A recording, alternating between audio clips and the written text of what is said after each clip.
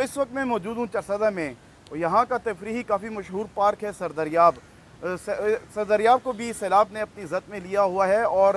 यहाँ पर जो बहने वाला दरिया है सरदरियाब का, उसका पानी की सतह जो है वो अभी नीचे आ गई है, जिसकी वजह से यहाँ पर भी सरदरियाब का पानी सदरियाब के जो तफरी पार्क है, वहाँ से भी पानी निकलना शुरू हो गया है। यहाँ पर लगे झूले जो हैं का सैलाब की वजह से ख़राब हो गए हैं और अभी तक जो सैलाब, आप देख सकते हैं कि सैलाब का पानी अभी तक दरियाब का जो तफरी पार्क है, वहाँ पर खड़ा हुआ है। झूले इसमें डूबे हुए हैं। यहाँ पर जो मालिकान हैं और जो यहाँ के लोग हैं, उनका ये कहना है कि पानी की सतह आज जो है वो काफ़ी नीचे आई है तो उसके बाद अभी इमदादी सरगर्मियाँ शुरू कर दी गई हैं और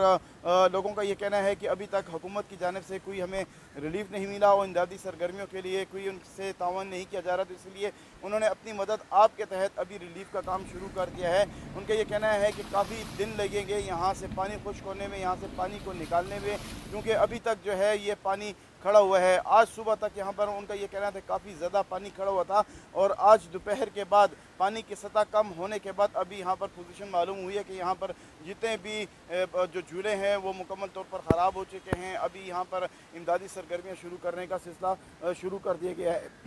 तो उनका यही मुतालबा है कि हुकूमत को चाहिए कि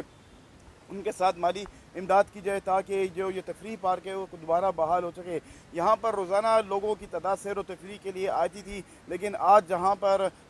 लोग पहले यहाँ पर खुशियाँ मनाया करते थे, आज यहाँ पर बिल्कुल हु का आलम है, यहाँ पर बिल्कुल सो का आलम है। लोग जो हैं वो काफ़ी ज़्यादा परेशान है कि जो उनके लिए जो माश का जो ज़रिया था वो बिल्कुल अभी